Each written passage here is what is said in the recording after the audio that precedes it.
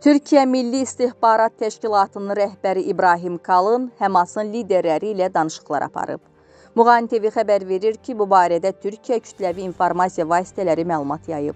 Bildirilib ki, Türkiyə girovların azad edilməsi üçün Həmasa bir sıra ölkələrin təkliflərini göndərib.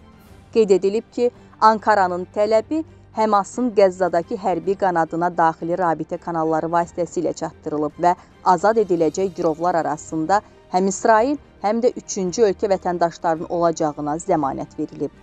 6 həftə ərzində İbrahim Kalın Həmasla 4 görüş keçirib.